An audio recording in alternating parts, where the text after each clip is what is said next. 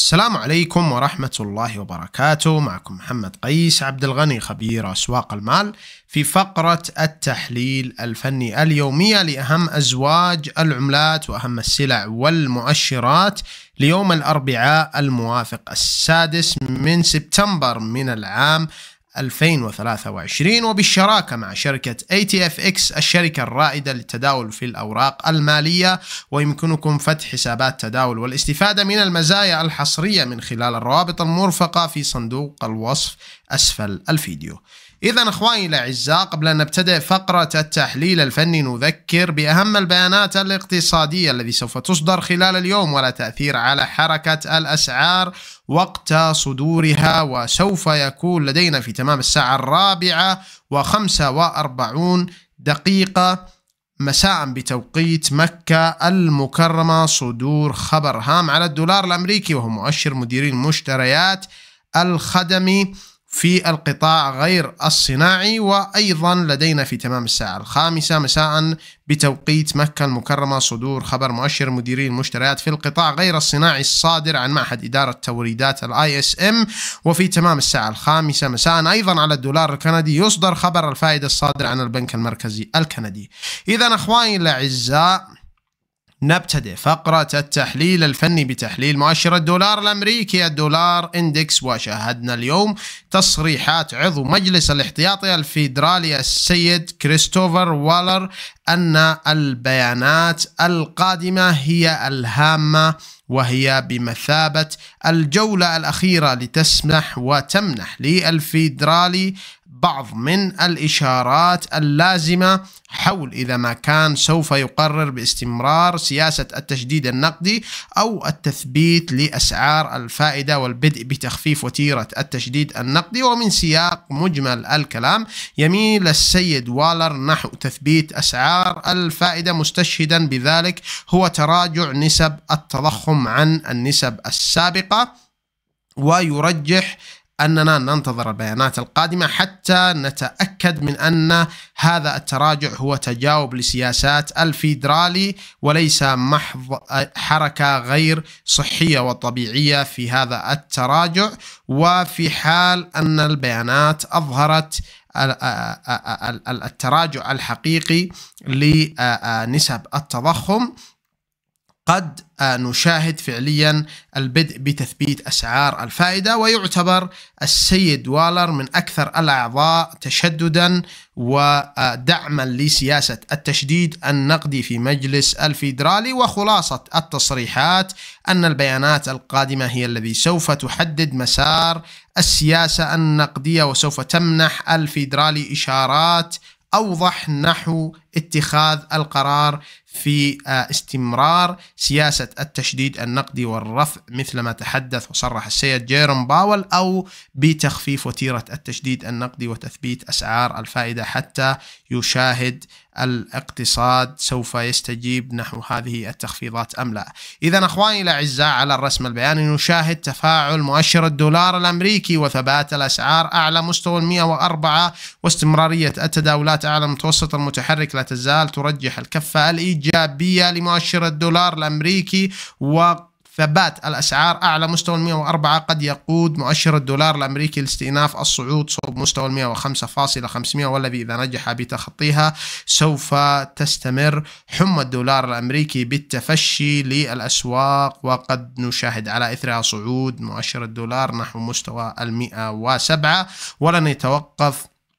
الدولار الأمريكي عن التألق إلا بعودة الأسعار أدنى مستوى المئة وأربعة. إذا أخواني الأعزاء ننتقل إلى تحليل زوج اليورو دولار ونشاهد أخواني الأعزاء أن زوج اليورو دولار لا يزال يتداول تحت الضغط في ظل القناة الهابطة واستمرارية تداولات أدنى مستوى الواحد فاصلة صفر ثمانية آلاف ومئتين. قد تقود الزوج لاستئناف ال التراجع والموجة الهابطة صوب مستوى الواحد فاصلة صفر ستة آلاف وخمسمائة وواحد فاصلة صفر خمسة آلاف. ولن يتوقف نزيف الزوج حتى تعود المراكز الشرائية على مستوى الواحد فاصلة صفر ثمانية آلاف ومئتين. إذا أخواني الأعزاء ننتقل إلى تحليل زوج الباوند دولار وهو الآخر يتداول تحت الضغط واستقرار الأسعار أدنى سعر الإغلاق السابق وأدنى مستوى الواحد فاصلة ستة وعشرون ألف. سوف ترجح الكفة السلبية لاستئناف الهبوط مجددا صوب مستوى الواحد فاصلة خمسة وعشرون ألف وواحد فاصلة أربعة وعشرون ألف وخمسمائة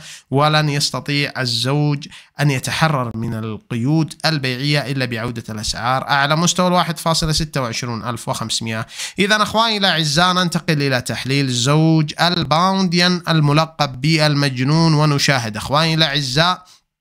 الزوج يقترب من مناطق المقاومات الهامة الماثلة عند مستوى ال 186 والذي إذا نجحت الأسعار باختراقها وتخطيها سوف نشاهد عودة السيطرة على الزخم الإيجابي وتحقيق أرقام بالقرب من مستوى ال 188 على المدى القصير. وعلى اللونج تيرم قد نشاهد مستوى ال 192 ين مقابل الجنيه الاسترليني الواحد ولن يتراجع هذه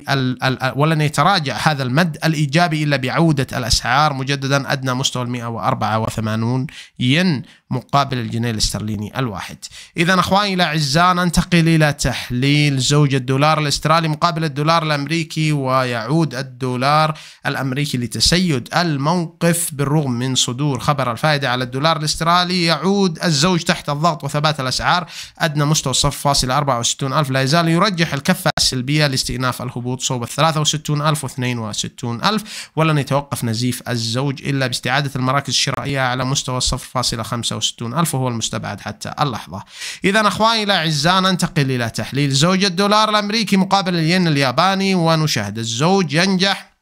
بتحقيق المكاسب وتأكيد الاختراق لمستوى 147 ين مقابل الدولار الأمريكي الواحد. قد يقود الزوج لتحقيق المكاسب واستهداف مستوى 149 و 151 ولن يلغى هذا السيناريو الإيجابي الصاعد إلا بعودة الأسعار أدنى مستوى ال 146 ين. إذا أخواني الأعزاء ننتقل إلى تحليل زوج الدولار الأمريكي مقابل الليرة التركية ونشاهد أن الزوج لا يزال يتمسك بالمكاسب ولن نشاهد موجة إيجابية جديدة وخلق فرص شرائية جديدة إلا بتخطي مستوى 27 ليرة مقابل الدولار الأمريكي الواحد وثبات الأسعار حتى اللحظة على مستوى 25 ليرة. لا يزال يرجح السيناريو الإيجابي. إذا أخواني الأعزاء ننتقل إلى تحليل البي البيتكوين مقابل الدولار الأمريكي ولا تزال الأسعار للجلسة الثالثة على التوالي تتمحور حول الدعم الهام الماثل للمستوى 25500 دولار وبكسره سوف تمتد خسائر البيتكوين لتطال ال 24000 دولار و 22000 دولار.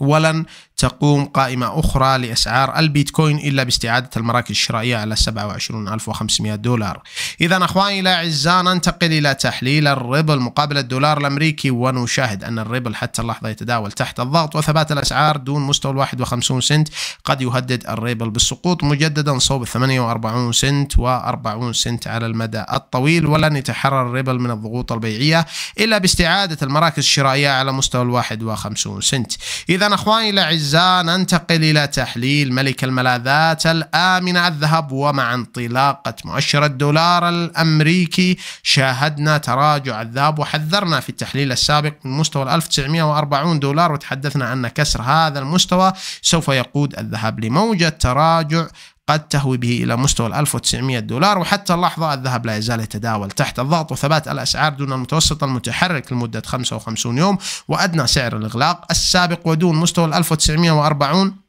لا يزال يكبد الذهب الضغوط والقيود البيعية الذي قد تهوي به إلى مستويات ال 1900 دولار. مقابل الأونصة الواحدة وبكسرها سوف يستمر تراجع الذهب ولن يستطيع الذهب أن يتحرر من الضغوط البيعية إلا بعودة الأسعار مجددا الأعلى مستوى ال 1940 إذا أخواني الأعزاء ننتقل إلى تحليل النفط الخام ونشاهد النفط الخام يتألق مجددا مع استمرار موجة التخفيض للإنتاج وثبات الأسعار أعلى ال 85 دولار مقابل البرميل الواحد. لا تزال تقود الأسعار صوب 90 دولار و94 دولار مقابل البرميل الواحد ولن